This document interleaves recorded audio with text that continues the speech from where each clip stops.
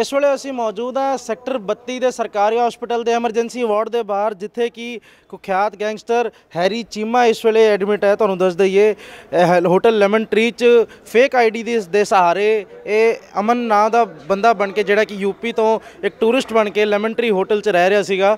ਤੇ ਹੁਣ ਜਦੋਂ ਪੁਲਿਸ ਹੋਟਲ ਪਹੁੰਚੀ ਤੇ ਉੱਥੇ ਪੁਲਿਸ ਤੋਂ ਬਚਣ ਲਈ ਇਹਨੇ 3rd ਫਲੋਰ ਦੀ 3rd ਫਲੋਰ ਦੀ ਖਿੜਕੀ ਤੋਂ ਛਾਲ ਮਾਰ ਕੇ ਬਚਣ ਦੀ ਕੋਸ਼ਿਸ਼ ਕੀਤੀ, ਲੇਕਿਨ ਉਸ ਤੋਂ ਬਾਅਦ ਮਲਟੀਪਲ ਫ੍ਰੈਕਚਰਸ ਇਹਦੇ ਇਹਦੀ ਬਾਡੀ 'ਚ ਆ ਗਏ, ਜਿਹਦੇ ਕਰਕੇ ਇਹ ਨਹੀਂ ਬਚ ਪਾਇਆ। ਤੇ ਜਦੋਂ ਪੁਲਿਸ ਨੇ ਜਾ ਕੇ ਇਹਨੂੰ ਅਰੈਸਟ ਕਰਨ ਦੀ ਕੋਸ਼ਿਸ਼ ਕੀਤੀ, ਤਾਂ ਪੁਲਿਸ ਨੂੰ ਪਤਾ ਲੱਗਿਆ ਕਿ ਕੁਖਿਆਤ ਗੈਂਗਸਟਰ ਹੈਰੀ ਚੀਮਾ ਇਹ ਕੁਝ ਹੀ ਦਿਨਾਂ 'ਚ ਦੂਸਰਾ ਵਾਕਿਆ ਹੋਇਆ ਜਿਹਦੇ ਵਿੱਚ ਕੋਈ ਕੁਖਿਆਤ ਗੈਂਗਸਟਰ ਆਪਣੀ ਪਛਾਣ ਬਦਲ ਕੇ ਫੇਕ ਆਈਡੀ ਦੇ ਸਹਾਰੇ ਚੰਡੀਗੜ੍ਹ 'ਚ ਪੁਲਿਸ ਦੀ ਨੱਕ ਥੱਲੇ ਰਹਿ ਰਿਹਾ ਤੇ ਪੁਲਿਸ ਨੂੰ ਕੰਨੋ ਕੰਨੀ ਖਬਰ ਨਹੀਂ ਹੈ।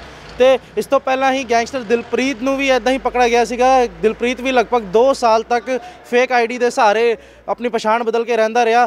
ਤੇ ਇਸ ਵਾਕਿਆ ਤੋਂ ਤੁਸੀਂ ਅੰਦਾਜ਼ਾ ਲਗਾ ਸਕਦੇ ਹੋ ਕਿ ਗੈਂਗਸਟਰਾਂ ਲਈ ਚੰਡੀਗੜ੍ਹ 'ਚ ਪਨਾਹ ਲੈਣਾ ਕਿੰਨਾ ਕੁ ਸੌਖਾ ਹੈ ਤੇ ਨਾਲ ਹੀ ਚੰਡੀਗੜ੍ਹ ਜਿਹੜੀ ਸਿਟੀ ਹੈ, ਇਹ ਕਿੰਨੀ ਕੁ ਸੇਫ ਹੈ? ਕੈਮਰਾਮੈਨ ਦੀਪਕ ਦੇ ਨਾਲ ਅਨਮੋਲ ਸਿੰਘ ਗੁਲਾਟੀ, ਦੈਨਿਕ ਸਵੇਰਾ, ਚੰਡੀਗੜ੍ਹ।